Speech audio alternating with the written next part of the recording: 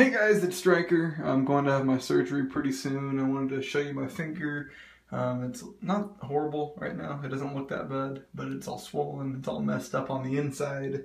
So, um, anyway, there it is. Here we go.